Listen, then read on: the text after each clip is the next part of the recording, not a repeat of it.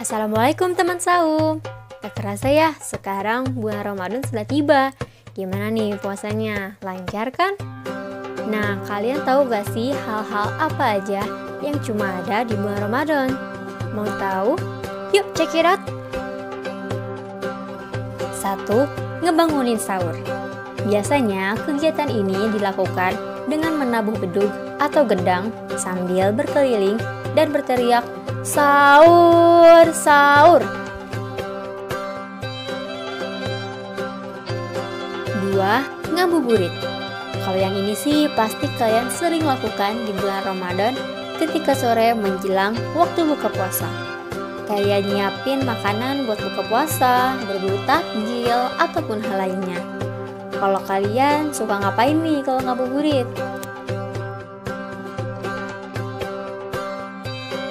3. Berbagi takjil gratis Di bulan Ramadan ini tentunya kita gak boleh ngelewatin untuk berbagi dengan sesama Karena salah satu keistimewaan bulan Ramadan adalah pahala yang dilipat gandakan Pasti gak mau disia-siain kan?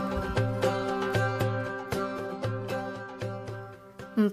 Buka puasa bersama Wah ini sih agenda wajib di bulan Ramadan yang pasti selalu ada momen yang pas banget buat bersilaturahmi sama keluarga ataupun teman-teman yang udah lama gak ketemu. 5. Sahur on the road Kegiatan ini bukan hanya sahur bersama dengan teman-teman di jalan aja loh, tapi juga kegiatan berbagi makanan kepada yang membutuhkan saat menjelang waktu sahur.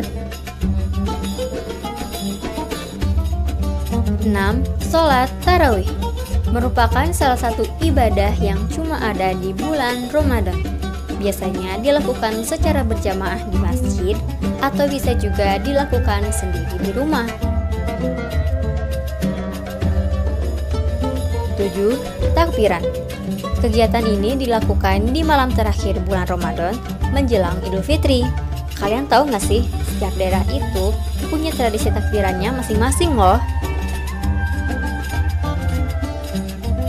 8. Mudik Wah, kalau kegiatan satu ini sih tradisi yang paling erat dengan bulan Ramadan.